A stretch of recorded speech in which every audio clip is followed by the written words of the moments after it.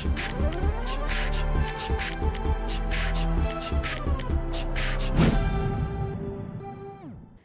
sahabat inovasi, jumpa bersama saya Irni Novita dari Badan Litbang Provinsi Sumatera Selatan dalam acara One Day One Innovation. Satu hari, satu inovasi, tiada hari tanpa inovasi. Sahabat inovasi, saat ini inovasi menjadi sebuah keharusan. Dunia terus berubah, maka kita harus adaptif dan inovatif. Untuk menginspirasi, kami hadir dengan para inovator hebat dengan inovasi-inovasinya dalam acara One Day One Innovation.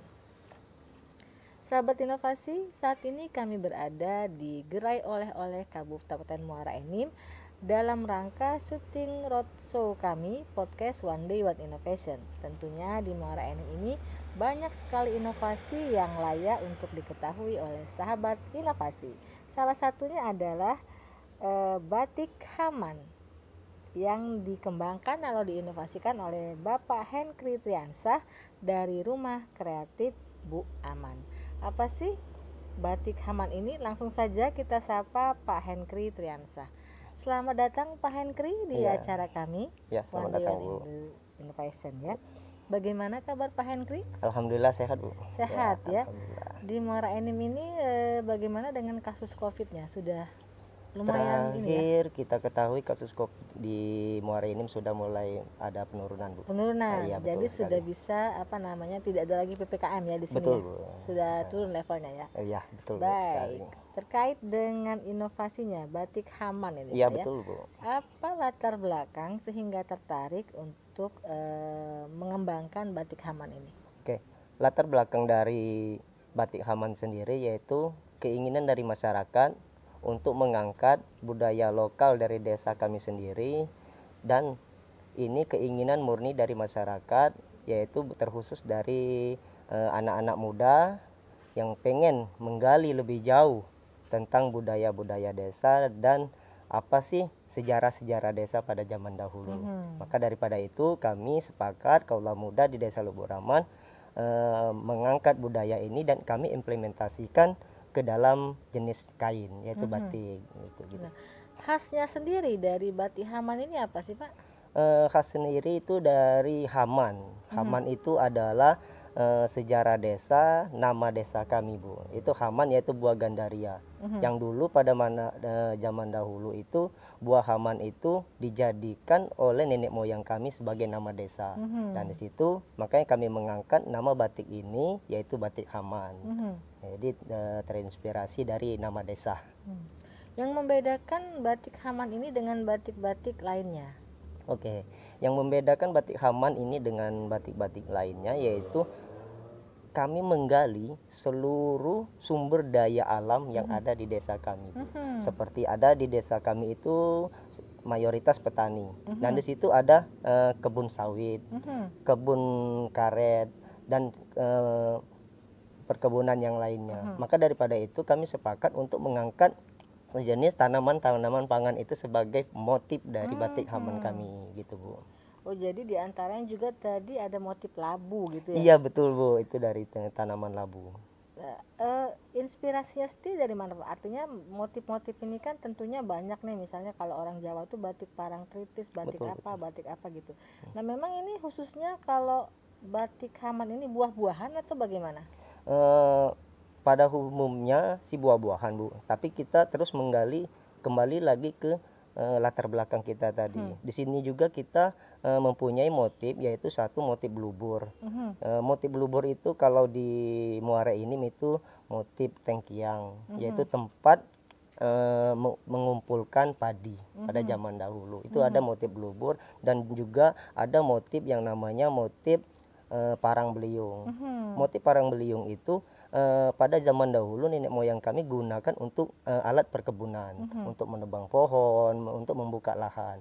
Makanya daripada itu kami menggali dari tokoh-tokoh adat, tokoh-tokoh masyarakat kegiatan-kegiatan pada zaman dahulu itu apa sih yang bisa kita implementasikan dan anak-anak uh, muda sekarang mengerti sejarah hmm. desa karena sekarang bu zamannya jajet anak-anak sekarang kan sudah mulai hmm. uh, meninggalkan budaya-budaya nah kami dari toko pemuda uh, berniat ayo kita lestarikan lagi budaya terkhusus yaitu budaya desa Lubuk Raman. Mhm.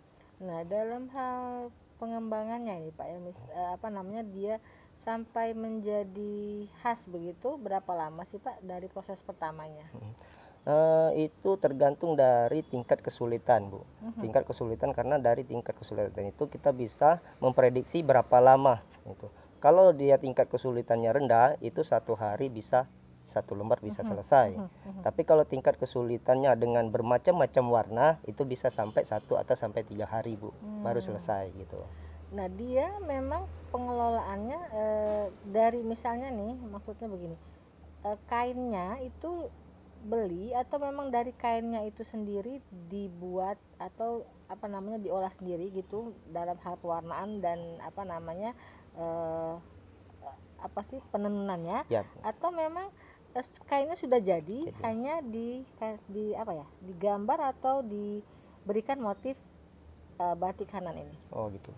Eh, kita belinya itu eh, dasar kain, Bu. Kain Mhm. putih polos. Mhm, mhm, Jadi dari situ tahap awal kita mulai mengadakan yaitu pengecapan. mhm. Nah, dari pengecapan pola sampai dengan pewarnaan sampai dengan eh, pelorotan yaitu tadi. Jadi kita memang beli bahan baku yang memang nol, Bu.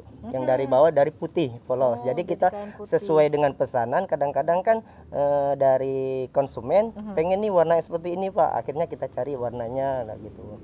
Jadi memang dari nol dari eh, dasar kain putih sampai dengan pengecapan motif sampai dengan pewarnaan itu kita proses kita sampai ke situ bu Nah ini dicap ya maksudnya Iya, kan betul, kalau Bu. di Jawa itu ada yang tulis dan printing. Betul, Nah, Bu, betul. Tekniknya bagaimana? Dicap gitu ya? Iya bu uh, uh. kebetulan hari ini kita nggak bawa capnya Mhm. tapi memang ini teknik cap yaitu kita terbuat kita mempunyai dua cap bu Hmm. satu cap itu yang memang cap permanen Mhm. cap permanen itu digun- dibuat dari bahan tembaga Mhm. yang kedua yaitu cap kertas nah Hmm. cap kertas ini eh, kita sendiri yang bikin bu sesuai dengan keinginan kita apa-apa motif yang ingin kita kerjakan dan itu eh, kita ambil dari limbah bu Hmm. Limbah kot eh, bok bok kue Mhm. nah itu kita bisa jadikan cap tapi Hmm. untuk eh, pemakaiannya mungkin tidak eh, bisa lama seperti cap tembaga yang Mhm. sudah kita permanenkan gitu Gitu ya. Nah eh, kan dia tekniknya cap nih. Sebelum dicap dia berarti digambar dulu ya, di sketsa dulu, kemudian Hmm. baru di apa namanya dibuatkan dicapnya atau bagaimana prosesnya? Iya, prosesnya dari awal kita eh, memang kita ada beberapa cap eh, motif Mhm. dan itu sudah paten Bu, sudah Hmm. dijadi. Mhm. Jadi tinggal dari konsumennya memilih. Nah, Hmm. eh, kita pengennya motif ini atau misalnya kita Hmm. pengen motif lubur, Hmm. eh, tata letaknya seperti ini. Kita Mhm. terus eh, komunikasi dengan konsumen. Karena Mhm. konsumen itu eh, antara yang satu dengan yang lain beda-beda seleranya Bu. Baik. ada yang pengen eh, seleranya itu motifnya itu jangan terlalu banyak katanya. Mhm. Ada juga yang pengen full penuh motif. Nah, Mhm. jadi kita sesuaikan dengan keinginan.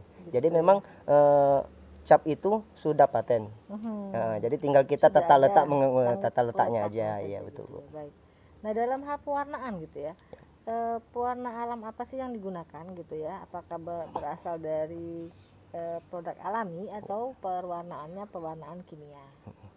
Untuk saat ini kita menggunakan eh, pewarna sintetis, Bu. Mhm. Atau, eh, terus eh, ke depan kita sudah mencoba menggunakan pewarnaan alami. Mhm. Dan pewarnaan alami itu lebih ramah lingkungan ya Betul. pastinya kan. Nah, itu kita gunakan dari daun-daunan, Bu. Mhm. Nah, ini saya sebenarnya bawa contoh juga. Ada beberapa kain yang kita pewarna alami dan itu dari daun matoa. Hmm, daun matoa. Iya, apa Baik. yang ada di desa kita ya kita ambil dan itu. Tapi untuk proses pengerjaannya kalau untuk pewarna alami lebih lama, Bu. Betul. Mm-mm, kalau sintetis kan dua tiga kali celup pencelupan oke. sudah oke warnanya udah terang tapi Baik. kalau pewarna alami mungkin sampai 9 sampai Berkali-kali. 10 kali ya berkali Betul. lebih harus lebih sabar gitu bu Betul. Mm. Tapi tidak mengurangi apa namanya apa namanya konteksnya bahwa pewarna alami itu dia ramah lingkungan. betul yang bu harus itu yang sekarang kita gali dan kita giatkan untuk pewarna kembali ke pewarna alami Betul.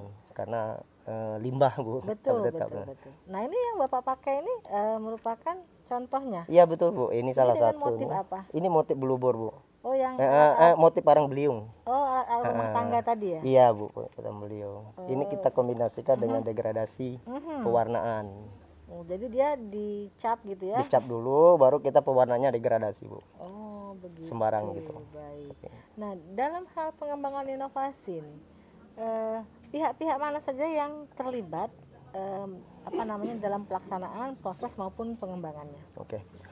Dari awal kita mulai launching, kita mulai produksi itu tanggal 1 Januari 2021. Jadi sampai sekarang kita baru jalan sekitar 11 bulan, Bu. Mhm.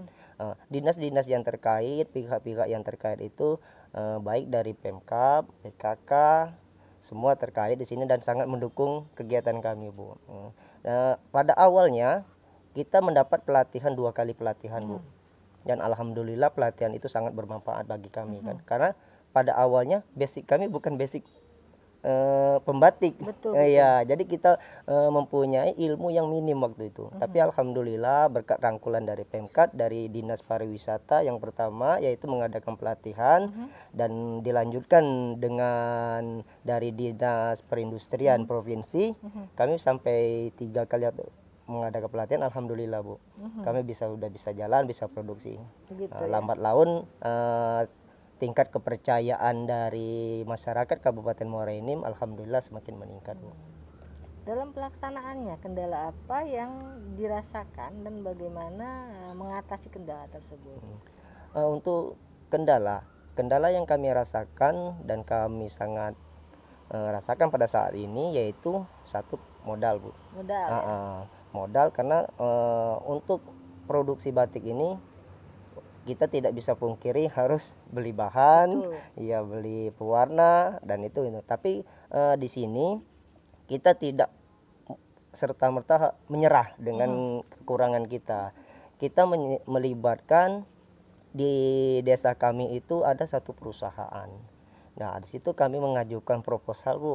Mengajukan proposal yaitu eh, perusahaan Pertamina Phil Limau Mhm. Eh, Pertamina jadi kami libatkan mereka. Akhirnya dari tim CSR Pertamina eh, Phil Limau datang ke tempat kami mereka survei dan mereka tertarik bu. Mhm. Mm, mereka tertarik untuk pengembangan batik kami. Alhamdulillah kami disupport kami di proposal kami diterima kami dibantu pewarna kami dibantu kain waktu itu, dan akhirnya bisa jalan bu. Alhamdulillah Berarti ini sudah lumayan apa ya? Eksis lah ya di sini ya. alhamdulillah bu Sudah semua orang Iya. kalau di Muara Enim sudah mengetop lah istilahnya. iya bu sudah Nah, bagaimana dengan penasaran pem- pemasarannya gitu Iya. ya? Apakah sudah eh, sampai keluar dari Enim? Kalau pemasarannya kita mulai keluar karena kita itu eh, masyarakat Desa Lubuk Raman itu banyak yang perantau, Bu. Hmm. Nah, jadi eh, saya sebagai inovator, saya harus keluarkan produk Lubuk Raman ini ke keluar. Ada yang dari Jambi, ada yang dari Jakarta. Dan itu saya hubungi semua, Bu. Mhm. Dan alhamdulillah mereka tertarik karena selama ini belum ada inovasi-inovasi yang seperti ini kan. Yang diangkat juga eh, budaya desa kita sendiri. Jadi mereka tertarik. Dan untuk ke eh, kabupatennya sendiri kita melalui PKK kemarin ada di Dekranasda kita terus melakukan pendekatan dengan pemerintah Bu Alhamdulillah dari Dekranasda baik itu provinsi maupun kabupaten welcome Bu dengan kita Alhamdulillah Alhamdulillah. Ya. Nah, dalam hal harga jual gitu ya. Ya. Kalau misalnya baju yang Bapak pakai ini berapa harganya dan yang di depan itu berupa kain berapa? kalau kain kita eh, ada tiga varian harga Bu Mhm. Eh, varian pertama yaitu kita eh, harganya per meternya 85.000 Eh, yaitu eh, cuman satu pewarna istilah kita kan? Eh, yang harga kedua yaitu 90.000 90.000 itu yaitu dua kali pewarnaan. Mhm. nah yang ketiga yaitu eh, 100.000 per meter. Nah 100.000 per meter ini eh, itu tingkat kesulitan pengerjaan. Mhm. Eh, karena setelah kita memakai dua kali pewarnaan dia ada sistem colet. Nah colet itu yaitu kita mesti ketelitian, mesti dicolet satu-satu antara eh, motif itu. Jadi motif itu berwarna gitu bu. Nah itu tingkat ke pengerjaannya agak lama. Makanya ditetapkan harga gitu seratus ribu per Nah, meter kalau misal ini berapa nih? Dijual per meter ini eh, 2 meter atau 3 meter gitu? dua meter setengah standar bu. Dua meter setengah. Nah, tergantung permintaan tapi Bu. Oh, tergantung permintaan. Itu dalam bentuk kain ya. Bentuk Nah, kain, Kalau Bu. dalam bentuk baju yang seperti Bapak pakai? kalau dalam bentuk baju ini saya pakai kain ini eh, 2 meter Mhm. 2 meter eh, yang harga berapa ini tadi? ini yang harga 90.000 ribu Bu. Aha. Mm-mm. Dijual jadi- berapa Pak baju ini? kalau kita ke sekarang eh, untuk proses penjahitan belum sampai ke situ bu Oh, jadi ah, bentuk, bentuk kain dulu bentuk karena kain dulu. pada saat ini kita skill bu Mhm. skill tenaga SDM kita yang masih kurang untuk Oh. menjahit Jadi eh, si batik Haman ini Mhm. dijual dalam bentuk kain potong. kain potong ya betul bu Gitu. tapi Baik. inovasi ke depan sih kita pengen karena kita sudah punya alatnya bu Hmm. tinggal eh, peningkatan SDM kita aja lagi yang belum berkaitan dengan itu, Iya. eh, apa sih harapan ke depannya terhadap batik Haman ini? ya harapan ke depan saya pengen batik ngaman ini dikenal oleh masyarakat eh, halayak banyak Kabupaten Muara ini Mhm. khususnya dan lebih luasnya lagi di Provinsi Sumatera Selatan. Mhm. Dan saya juga Bu ada keinginan di Desa Luburaman itu akan saya jadikan yang namanya Kampung Batik. Mhm. Di situ nanti akan kita adakan semacam rest area. Mhm. Di situ kita akan buat edukasi, wisata edukasi batik. Jadi kita bisa mengundang anak-anak SD, anak-anak SMP untuk eh, muatan lokal di situ. Mhm. Itu harapan saya ke depan, inovasi saya ke depan insya Allah. Baik. Pesan-pesannya ini kepada inovator juga kepada mungkin teman-teman eh, apa namanya dari UMKM ataupun pak remaja-remaja di eh, apa namanya di desa Haman Hmm. dan juga mungkin kepada eh, masyarakat Muara Enim pada umumnya. Iya. Silakan. Eh, Pesan-pesan saya untuk seluruh inovator, terus gali potensi. Karena potensi itu tidak akan keluar kalau tidak kita gali. Jangan kita stop untuk melangkah. Terus melangkah karena di depan masih banyak harapan-harapan eh, anak-anak muda yang mesti kita tunjang, masih banyak kreativitas-kreativitas yang harus kita kembangkan baik itu di dalam desa sendiri maupun di luar, Bu. Baik. Ucapan terima kasih ini terakhir kepada pihak-pihak yang sudah membantu dalam mengembangkan inovasi batik Haman. Silakan Pak. Oke Bu, terima kasih.